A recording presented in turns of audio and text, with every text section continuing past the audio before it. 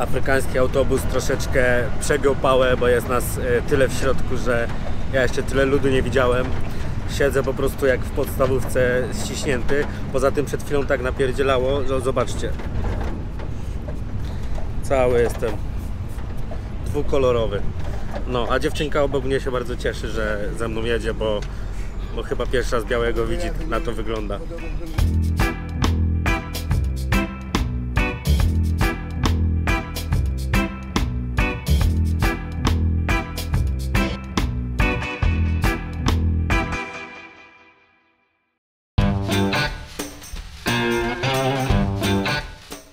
Elo, elo, 520.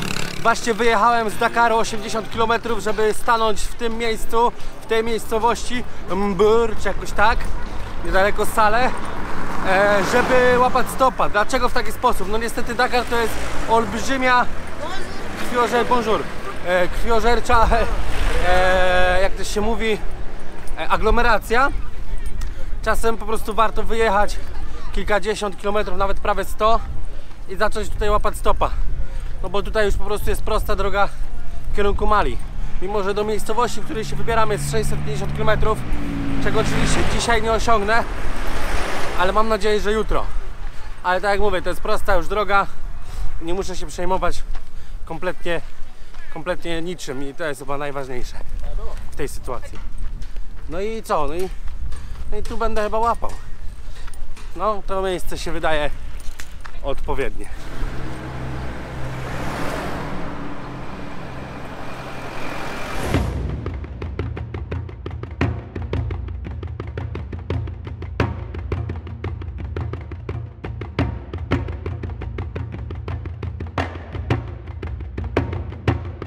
No cóż, dojechałem do Kaolak.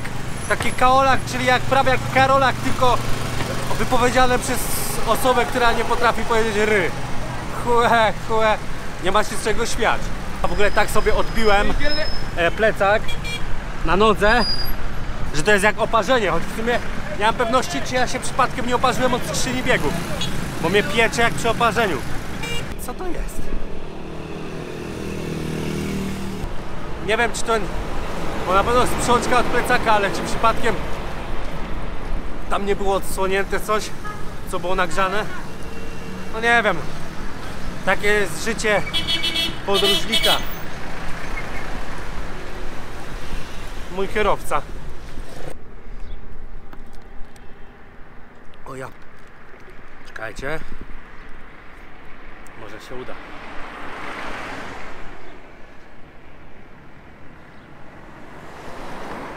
Nie uda się. Siemaneczko. Wczoraj zastała mnie późna noc.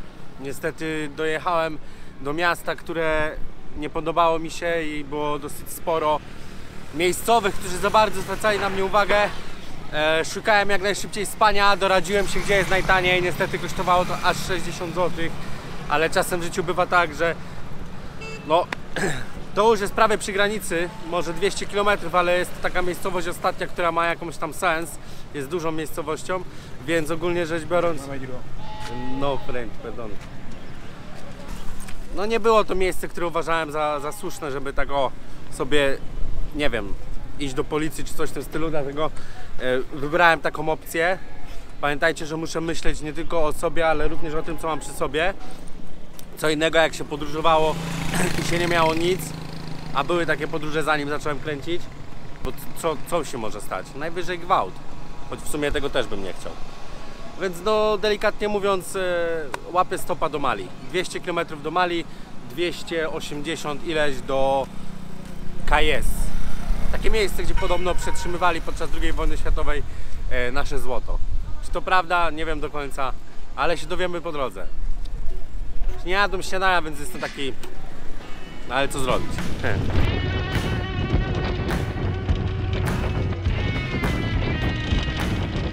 Kompletnie od godziny żadna osobówka nie jechała w moją stronę. Wybrałem więc lokalnego busa, żeby przeżyć troszeczkę e, tą jazdę. Powiem Wam, że ona jest zawsze no, niezrównoważona, więc ogólnie rzecz biorąc, no, bywa różnie. A teraz Wam pokażę, jak tam wygląda.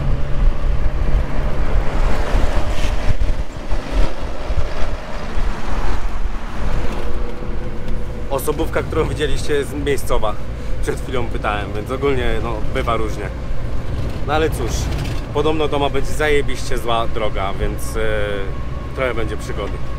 Grubo się zastanawiałem, dlaczego e, Google Maps pokazywał, że tą trasę pokonuje się w 4 godziny, mimo że to zaledwie niecałe 200 km.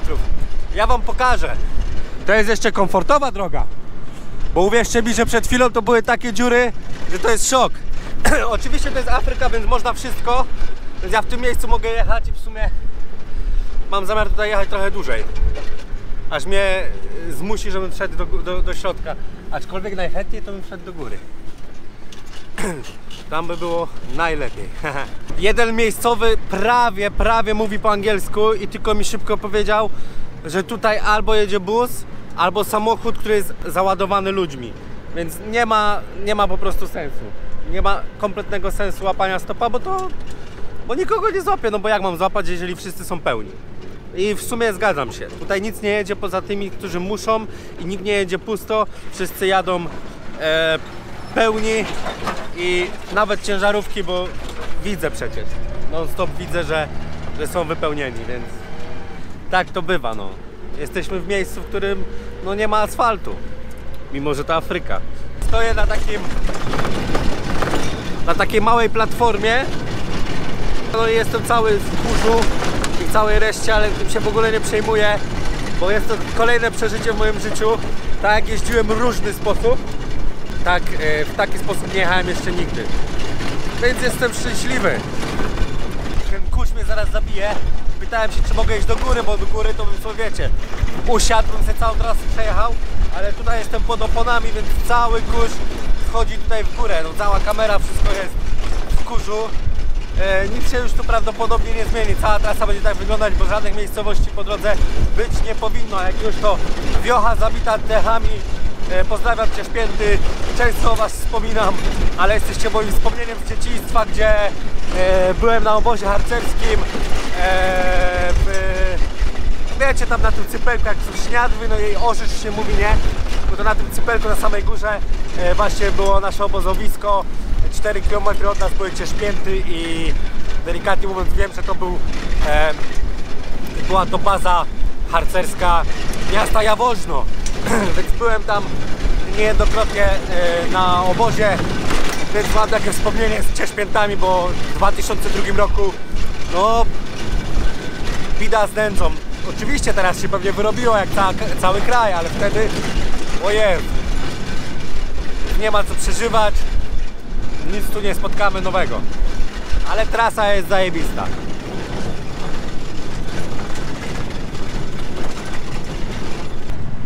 Afrykański autobus troszeczkę przegiął pałę, bo jest nas e, tyle w środku, że ja jeszcze tyle ludu nie widziałem. Siedzę po prostu jak w podstawówce ściśnięty. Poza tym przed chwilą tak napierdzielało, że zobaczcie. Cały jestem dwukolorowy. No, a dziewczynka obok mnie się bardzo cieszy, że ze mną jedzie, bo, bo chyba pierwszy raz białego widzi, na to wygląda. Więc no, jest jak jest, ale nie chcę bezczelnie nagrywać, bo oni tu mają średnie podejście. Więc ogólnie cały usyfiony i w ogóle. No, więc nie ma to tamto. Pamiętajcie, że jeżeli lokalni ludzie jadą takimi busami i ładują się po prostu w takich liczbach, to znaczy, że nie ma innego transportu i po prostu to jest jedyny sposób, żeby przemieścić się z punktu A do punktu B. E, Powiem Wam, że jedną z takich ciekawych rzeczy, czego nie jestem w stanie Wam pokazać, to jest fakt, że kobiety mają e, na wysokości oczu, na czole i, i na policzkach takie trzy blizny, zrobione oczywiście specjalnie po obu stronach. Nie wiem, czym to jest spowodowane. Yy, Prawdopodobnie albo jakieś plemienne tradycje, albo może oznaczenie, że wyszła za mąż. Dobra, pan wysiada, może zrobi się trochę miejsca. A, zapomniałem, że jeszcze na zewnątrz są trzy osoby i trzymają się drabinki.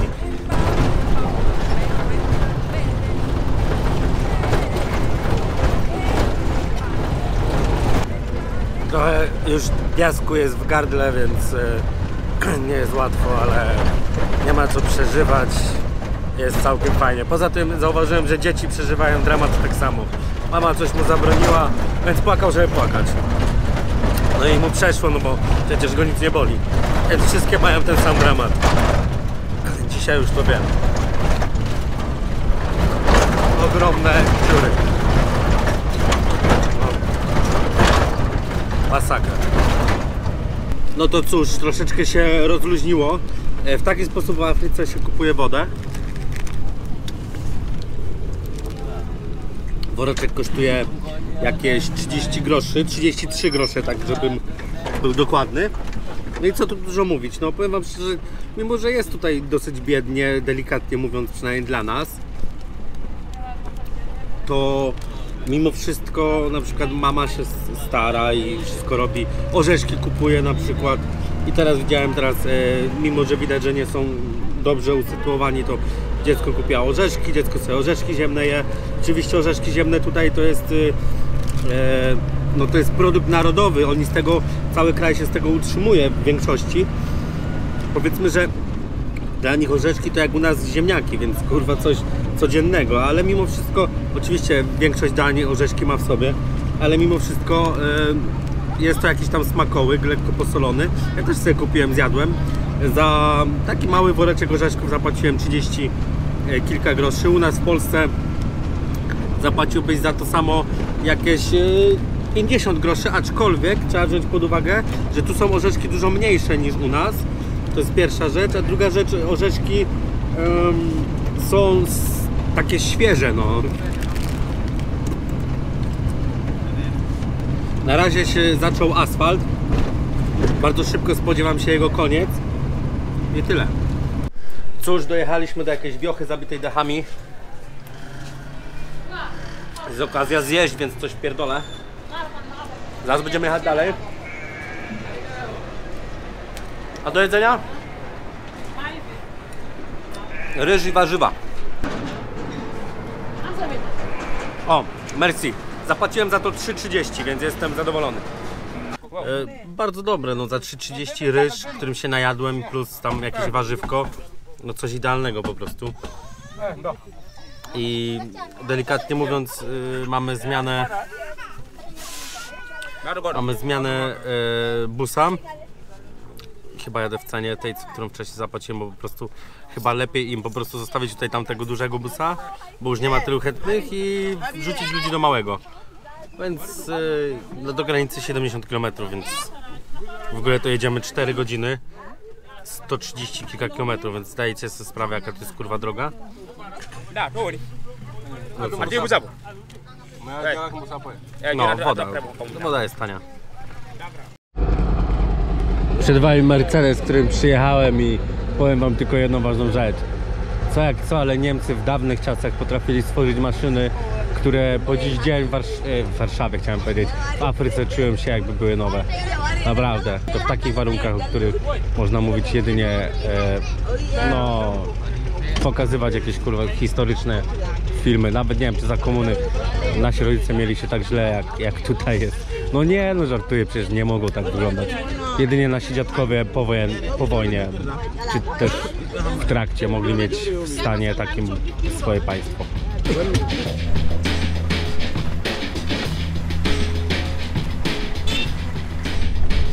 Ej, nie zdążyłem, nie zdążyłem, ale wyobraźcie sobie, że szedł gościu e, w koszulce z herbem, patrzę, a z tyłu ma napisane Dudek. Jestem bardzo zdziwiony, bo koszulka reprezentacji Polski z, napis, e, z nazwiskiem Dudek, to ile ona może mieć? 20 lat? 16? Masakra.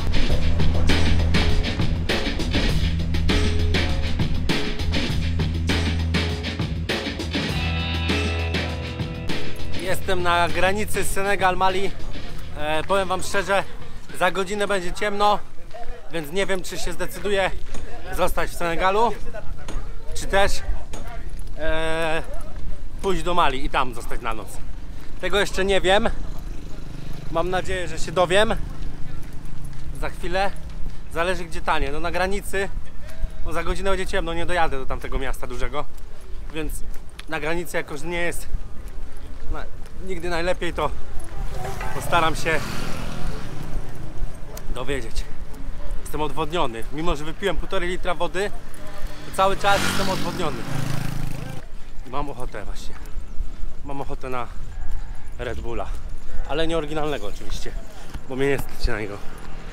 Dobra, wypite. Okna są otwarte e, w busie, więc piasek napierdziela ile się da. Nie wyglądam jak wyglądam, tak jak po, po tym pociągu w Mauretanii. Ale cóż, nie ma co narzekać. No, no bo mimo wszystko 6,5 godziny jechaliśmy 200 km. Drogi są tu katastrofalne, więc dlatego nie wybieram się do KS, bo dosyć mocno śmiem wątpić, że, e, że drogi będą w takim stanie, że po prostu dzisiaj tam przed zmrokiem dojadę. Nie ma co ryzykować. Ach, dobra. Tu już jest checkpoint powoli w prawo, więc idę się dowiedzieć co i jak. No to odprawę paszportową senegalską przeszedłem. Właśnie się zorientowałem, na co wcześniej nie patrzyłem, że wiecie co zrobili? A cię nie ci. To wyobraźcie sobie, zrobili no debile, no kurwa debile, bo inaczej ich nie nazwę. E, z Mauretanii, a dokładnie z mauretańskiej ambasady. E, dali mi wizę, wlepili na te dwie strony, jak macie pierwsze po, po tym wiecie, po jak macie tam tą, tą dyskietkę, gdzie tam macie dane, bo to są dwie strony, gdzie tam są, a można zostawić różne adnotacje i te sprawy. Patrzę, oni tam wlepili te dwie strony, to oni tam wlepili oczywiście co? Wizę.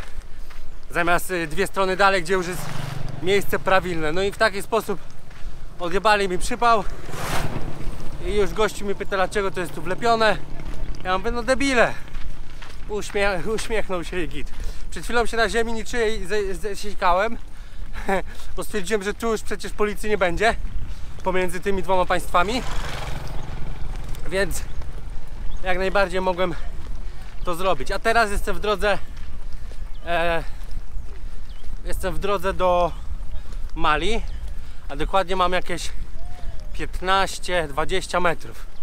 Mogę wam pokazać co robią ludzie. O. Jak zawsze uwielbiam o tym mówić. Lubię o tym mówić za każdym razem, czy to byłem na e, granicy chociażby tajsko-birmijskiej. E, naturalna bardzo często granica tak między Polską a Niemcami, czyli rzeka. Przechodzisz sobie przez most.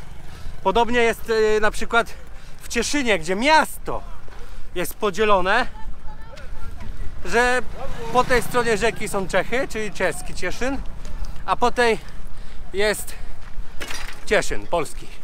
Więc to jest dosyć ciekawe. E, chyba najlepszy sposób. Tak samo pasma górskie między właśnie e, Polską a Czechami, czy też Słowacją, to pasma górskie, czy to e, Be, Beskid Śląski, czy też między innymi Tatry w taki sposób oddzielają nasze kraje. Ja na ten moment chowam kamerę, bo już widzę e, policjantów, a na granicy z kamerą się nie chodzi. No, biorą rzeczy, no jak cyganie, aczkolwiek kurwa w tej wodzie no nie prałbym, no ale co zrobić, jak nie mają innego wyjścia, to piorą w rzece. Dobra, bądźcie zdrowi, to jest najważniejsze.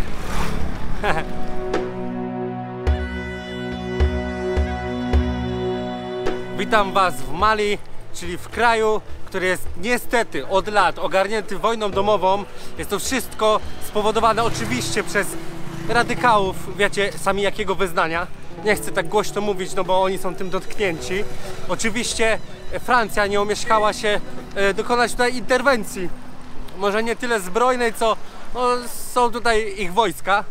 Czy to dobrze, czy źle, nie wiem to trzeba ocenić po swojemu, mimo że to jest kraj niepodległy.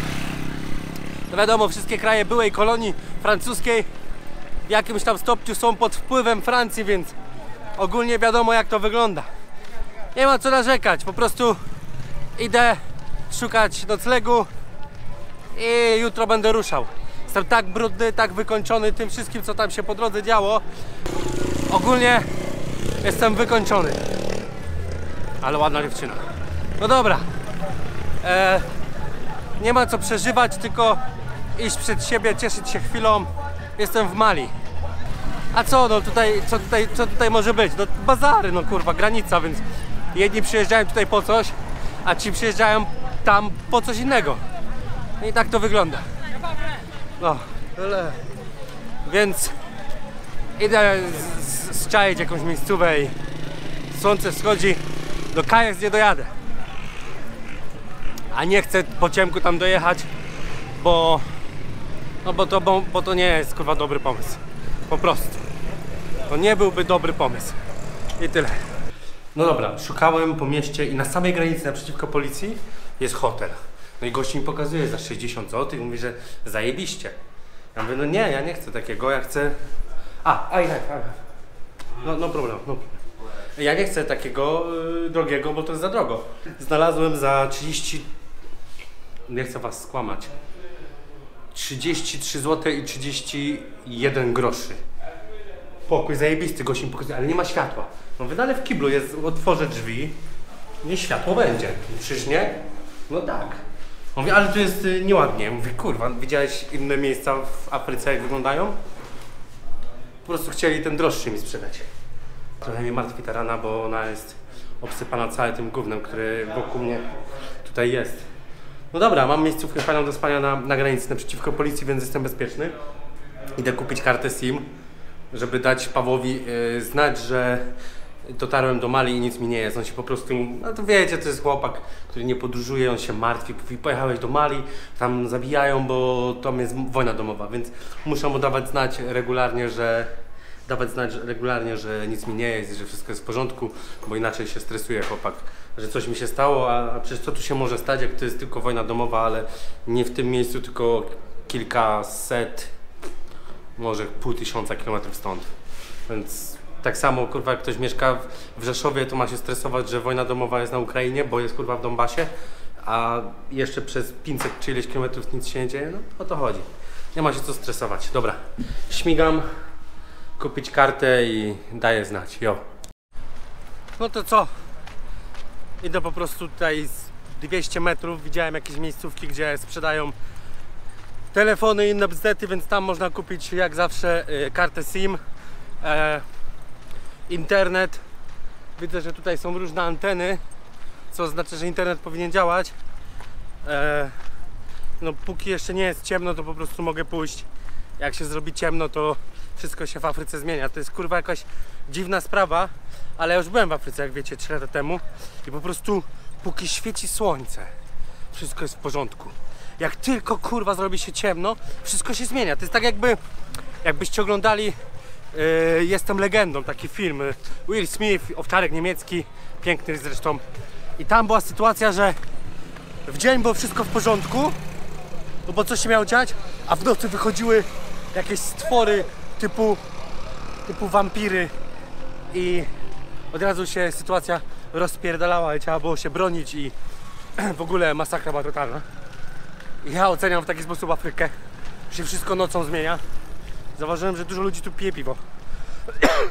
Po części mnie to cieszy, a po części nie. Ty tego gościu sprzedawał. Idę się go zapytać.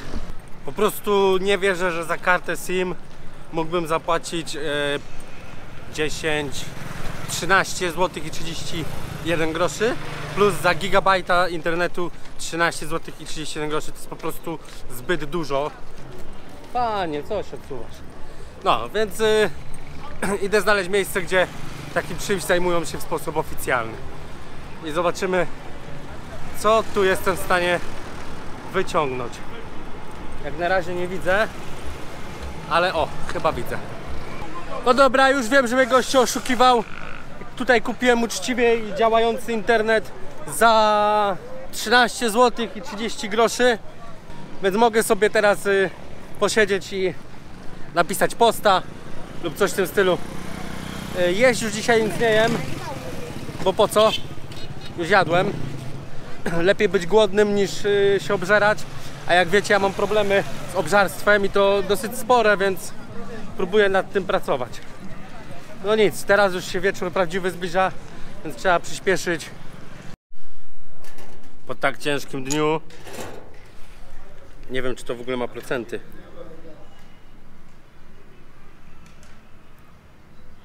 Pięć przecinek dwa. Piwo małe 4 zł, ale muszę sobie na to pozwolić. Mm. Ja nie lubię piwa. Ale po takim gorącu, po takim dniu, jeszcze przed umyciem, pierdolę sobie do piwo. Myślę, że będę lekko wypity i pójdę spać. To był bardzo ciężki dzień. Tak brudny nie byłem od niepamiętnych czasów. Ale warto było, super przygoda, super trasa. Ale kurwa nie chcę takich zbyt wiele przeżywać, ale prawdopodobnie najbliższe 2,5 miesiąca właśnie tak będzie wyglądać. Salut!